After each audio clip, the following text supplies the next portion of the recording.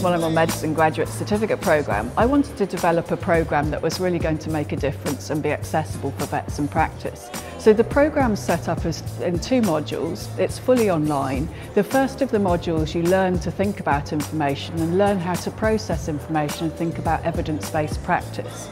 We're all surrounded by huge amounts of information. The problem these days is not dealing with information or finding information, it's learning how to process it and to pick out what's important and what's important to your patient.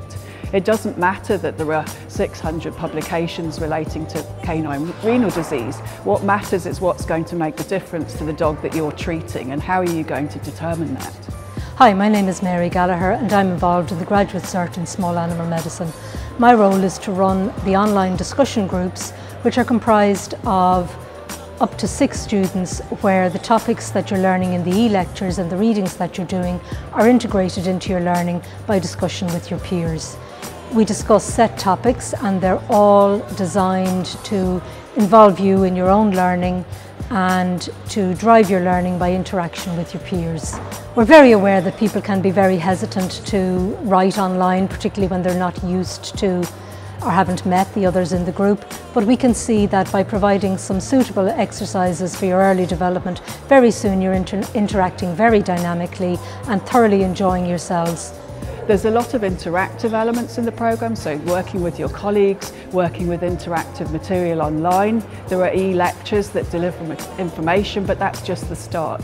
You'll be asked to think about cases, to think about, uh, uh, think about papers, and to take that information and use that information. And that really, I think, is the essence of the programme. It's using information and using it in a practical way. As educational technologist, I support students on the graduate certificate in small animal medicine with all aspects of online learning when it comes to teaching and assessment. Students will be provided with a full introduction to online learning during the course's induction programme. This will include a detailed introduction to learning online, as well as a run-through of the technologies that students use throughout the programme, all of which are accessible and easy to use. Here at UCD, we recognise that supporting online learners is crucial throughout their programme. Both myself and the team will be on hand to answer queries as they arise.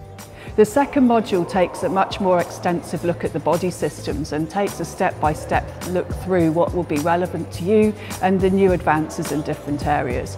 And at the end you'll be asked to create a capstone project where you have to take one of your cases and think about its context, how you set about making the decisions you did or taking the decisions you did and how you treated that patient. Stand over that and defend it using the evidence that's out there in the literature. I think the course is probably really helpful to lots of different people, so not just people working in small practice sole charge as I was, but um, was, when I did it, there were people that were in mixed practice, there were people who were um, had been in small animal practice for years. There were people who were on maternity leave. Um, so there's a lot of different people that can really benefit from the course. For me, it kind of made me a lot more interested in academia and I guess it kind of inspired me to go on to do my internship next year. So. the aim is it's supposed to be a fun programme. I think that it's aimed to make you get interactive because that's the way people learn. People don't learn by looking at textbooks, sitting, wading through